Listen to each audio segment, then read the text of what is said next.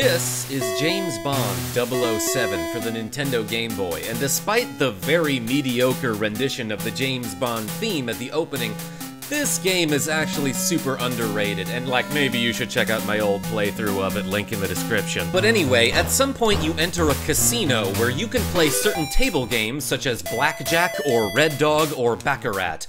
And in the game, you're supposed to make enough money so that somebody notices you when you get invited into a VIP room and you can continue with the story. But if you'd like to be a video game gambler without having to play, you know, the rest of the game, you can simply enter certain names on the file select screen to go straight to the casino games.